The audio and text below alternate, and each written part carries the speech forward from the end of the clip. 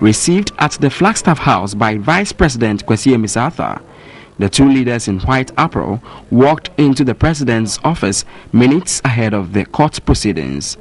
With the verdict in the offing, Vice President Amissah-Arthur monitored discussions on TV3 whilst the president worked on his computer.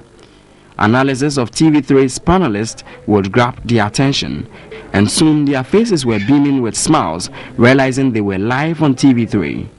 Occasionally, the president and his vice would engage in a tete-a-tete with sipping of tea interspersing it.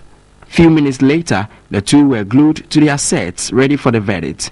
The long wait prior to the reading of the court's verdict no doubt sapped the nerves of President Mahama and his viewing party. This was the mood, some 20 seconds to the historic verdict by the nine justices of the Supreme Court a declaration described only as second to the 6th March 1957 Independence Declaration.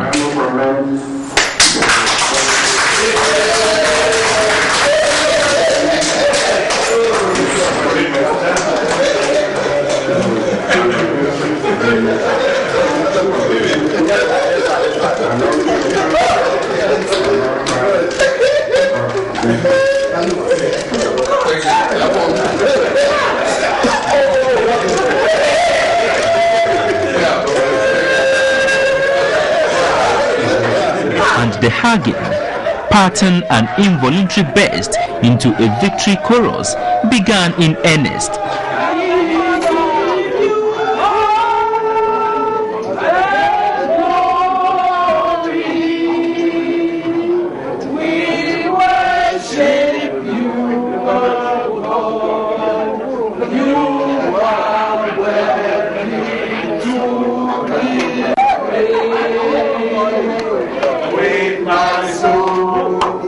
In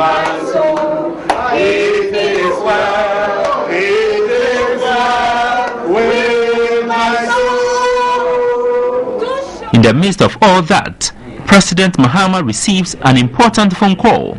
Not long after, though, Vice President Kwesi Bekoe Amissah-Arthur confirmed NPP flag bearer Nana had called to congratulate the president, John Dramani Mahama.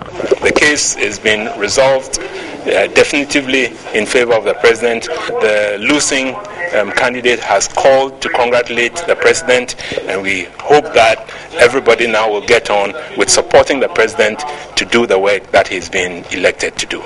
In pursuance to his call on party supporters and the entire nation, President Mahama remained measured in his celebration of the successful ending to the eight month legal contest to his legitimacy. The legal team of John Mahama and the NDC were also at the presidency minutes after the declaration.